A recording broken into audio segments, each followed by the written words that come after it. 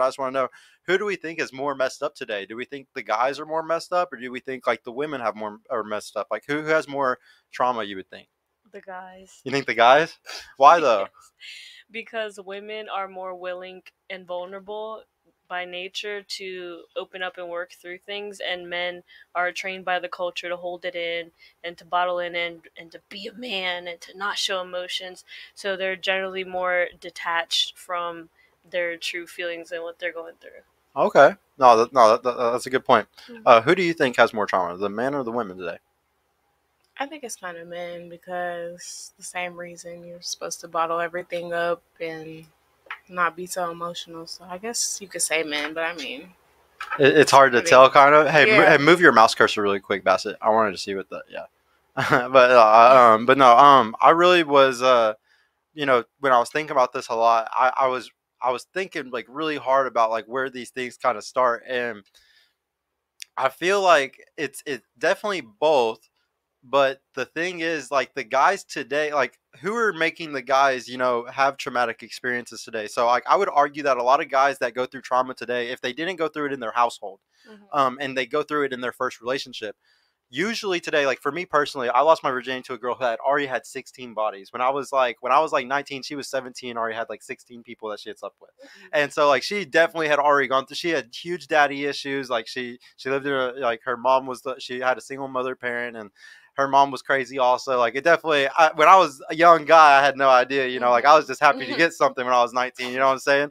So like, but so like I did. I looked past all the red flags and didn't think about anything in this first relationship. I was with her for three years, and um, Damn. yeah, no, but like, well, because it was mostly good. But the thing is, uh, I really believe that like those girls though, like she got social experience before I get, did. She got socially calibrated before I did. Even though I was older than her, she had more experience than I did. She was actually more in leverage in the relationship and had more control over me. I actually compare this to like a 50 year old dude being with an 18 year old girl because he mm. has such an immense amount of experience over her that that is like a huge gap. It's not like a 40 year old with a 21 year old, in my opinion. Like a 50 year old with an 18 year old, it's just like that's that that that is borderline. Okay, you definitely got way more on on her, you know. And I see the same thing as a woman that say has 20, 25 bodies by the time she's 25, dating a guy that's 28 and he's only had two bodies.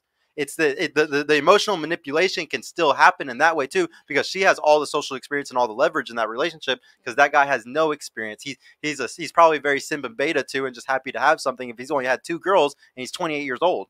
So he like you gotta understand those power dynamics happen a lot.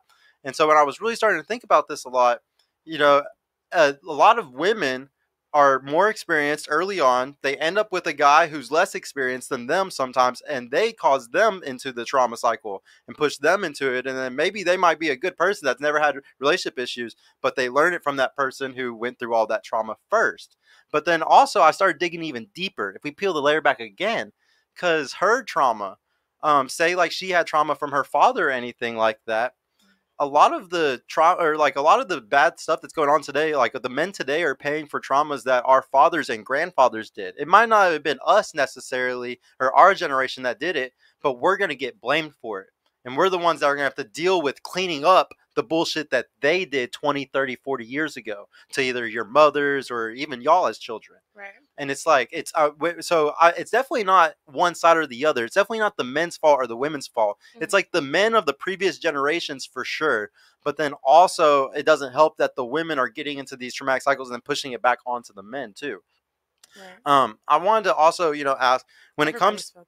yeah when, when- when it comes to trauma would you say that uh, because like we were talking about you know if it affects one person more would you say that since women are more emotional and that like y'all are more um, y'all want to talk about your feelings and y'all want to do all those things that at least when y'all go through trauma it might be more damaging whereas like if a guy goes through trauma he might be able to break out of it would you say that at least I wouldn't say it's more damaging. you wouldn't think so what do you think No, I think women and men are probably traumatized equally, but women deal with it better than men. That's what I was trying to say. You you really think that though? Yeah. So you think that like a woman that was like raped at a young age or anything like that, like gone through a lot of trauma, you don't think that that's gonna like affect the rest of her life?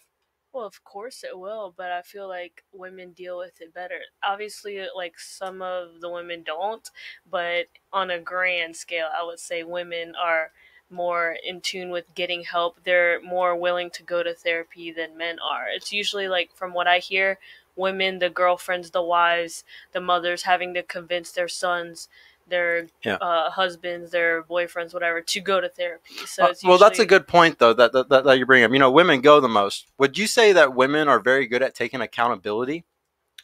Uh, it depends on the woman.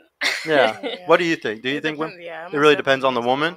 Yeah. So see, see, see, that's my problem with it is that it's like I would agree that women do seek out therapy and do it the most, but I've seen multiple times personally, like anecdotal as hell, where a woman can go to therapy and literally never admit her faults even to the therapist. And like if we look at cluster B disorders, you the number one trait of a cluster B disorder, which is histrionic uh, personality disorder, uh, uh, borderline personality disorder, uh, antisocial personality disorder, any of those uh, personality disorders are all cluster B disorders. The number one sign of it is you lack uh, the uh, the uh, self awareness. You lack self awareness. That's the number one trait of it. So you like we can look at studies and see how many people have these things, but the number one problem with those people is they can't admit they have it. So how would we we can't even tell how many people actually have cluster B disorders in America. Right. It's impossible. It could be half the population. We would never know it because they're not going to admit it. Right. They're not going to admit I actually have a cluster B disorder and the doctor originally told me there's no way you're borderline because borderline people are not self-aware. And he said there's no way you are. He said this test must be broken. And it was just like that but because that's how that's what they really even doc even the therapists think that sh- that, that that that if you have that if you have self-awareness you can't even be it. I think I run into that a lot with trying to get into friendships with other women. That's why I don't have any friends because they lack the accountability or being wrong. Like it's okay to be wrong. or it's I'll say like- that anytime. It's yeah, because okay text be messaging wrong. and stuff, or like being Right. off on times and shit. Yeah, that would piss me off. Like, well, like, we'll, we'll, we'll, like say like she didn't reply to you for like two days, and she says that it was over something, and but you know what she was really doing. Like that would piss me the. F- I don't know. I, I take friendship seriously, so I Oh, wouldn't yeah, want somebody like doing that. Shit.